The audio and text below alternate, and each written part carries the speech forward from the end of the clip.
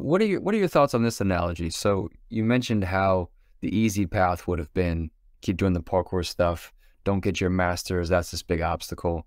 And it sounds like you've integrated the philosophy of parkour into other things besides just movement. So I want to validate that. In addition to that, I want to ask this question about this analogy. So it's like the river flow analogy. People yeah. talk about the river's flowing and you flow with the river. And so with that analogy, the easy path isn't necessarily the most difficult path. But the parkour ethos, and this is passed down from Raymond Belle. In fact, I could probably read it directly because I have this book, uh, Parkour with David Belle. Um, if I can find it since here he goes. It, if two paths are presented to you, take the most difficult one. It's a mm-hmm. quote that opens this book, Parkour by David Belle. And I believe that quote's from his father, Raymond. And so that's the parkour ethos. It sounds like that's what you're doing. So, with that in mind, what is your thoughts on the idea of flowing with the river? Because maybe the easiest path, some people would say, is the best path because that's what the universe or God has opened up for you. What are your thoughts on that? Yeah, I mean, to each his own. I think everyone has everyone has to make that decision and determine what it is they want to pursue in life, what challenges they want to overcome. Every path comes with its own set of obstacles and challenges with it um, if someone is faced with two paths and decide to go down the one that flows better, the one with less rocks, then like all for them, you know, I support them. Um, I think it's a matter of like, I think to me, it's just a matter of like putting in your full effort, you know?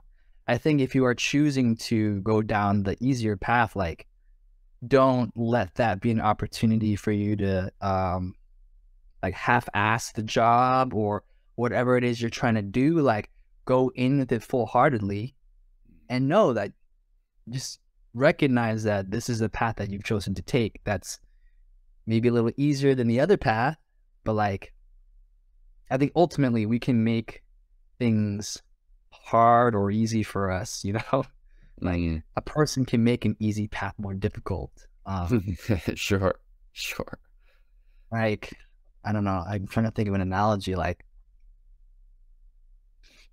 like you maybe you're faced with like a you know a trail. One has like rocks you have to climb over. One's just an easy path. Like you can always make that easy path a little more difficult by maybe taking your shoes off. That automatically makes it much more difficult. Or you know you put on a backpack that's 40 pounds. That is making it a lot more challenging. And you can make this path as challenging as the other one. And at the end of the day, it's your choice or not. But I think it's a matter of the heart behind what it is you're trying to do. And yeah, I think that's that's ultimately what's important. Do you see do you see yourself in the future being able to integrate your studies and your degree with parkour in some way? Yeah, yeah. Um, I I thought about this quite a bit. Um, ultimately, yes. I don't I don't really know to what extent or what that looks like exactly. I think before pursuing the degree, um, the program that I'm in, I was debating on going into into research, into uh, studying athletes and seeing how um, you know partaking in um, not saying parkour is an extreme sport, but like disciplines like parkour is affecting cognition, how is affecting how our brains are operating, how um, our perception of what is around us changes because it does. You know, they did a study and uh, basically they'll you know they asked some muggles like, what does from here to there, what does that you know how how far do you think it is? And they're like, oh, 10 feet. And then they ask like a parkour person or someone who's active in sports and how how far does that look to you? And the people who are active in different disciplines are give you a more accurate answer. So our perception of life, our perception of even time changes depending on what it is we're doing. And so mm-hmm. I'm very curious to see like how parkour um, is influencing the way we think because at least for me, like, I mean, just an example, I'm constantly looking at things to climb, you know? And sure.